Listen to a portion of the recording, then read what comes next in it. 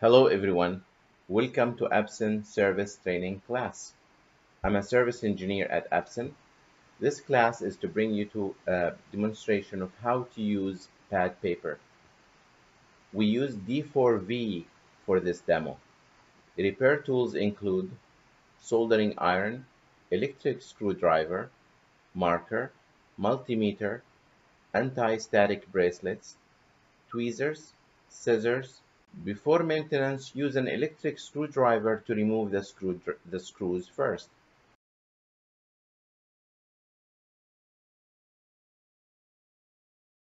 Then remove the mask. We see there are two pixels pads dropped off. Now we have to know how to add pad paper. Today I mainly show how to use the pad paper, confirm the location, from the position of the two pixels on the right side of the pad pixels to connect the signal, use tweezers to clean up the silicone glue of the pad pixels and the position where need to connect signal. Please be gentle in case of circuit damage while cleaning the glue.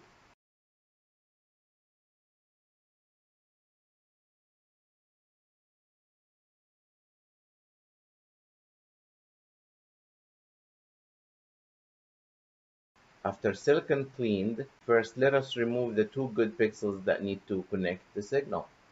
Use a soldering iron to melt the two pins simultaneously. With a little force, gently left. Same with a little force, gently left. Press back and solder the other side.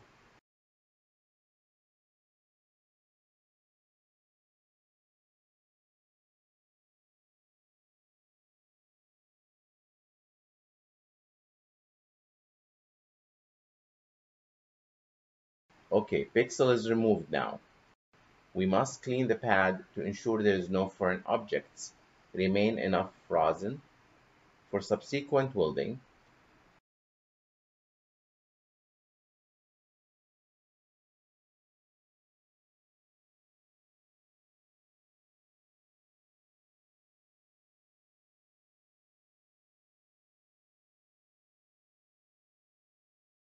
After cleaning the pad with a soldering iron, we need to use tweezers to clean up the glue and rosin below.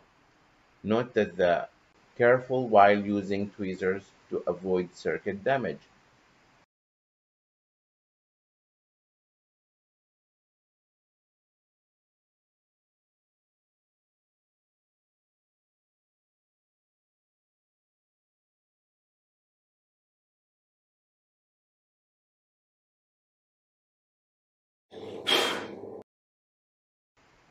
After cleaning the pad, use scissors to fold the trace paper. Cut the pad paper needed. Note, don't break the original circuits while cutting it.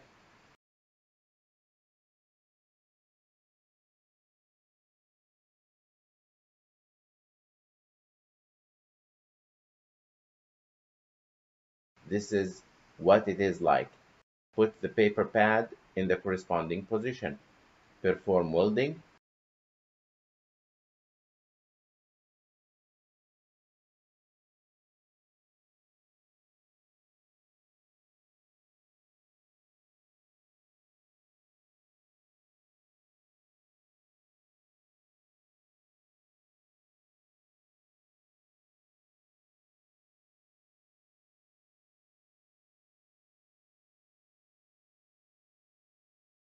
After adding the pad paper, we can start to put the pixels.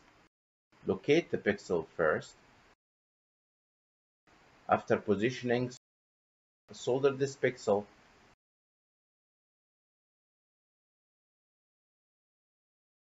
up, down, left, right. Check it, it is aligned.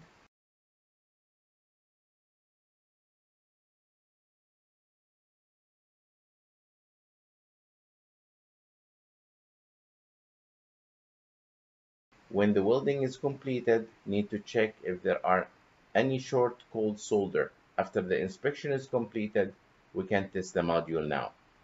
If there is a dead pixel or any miscolor or other issues, re-weld will be needed.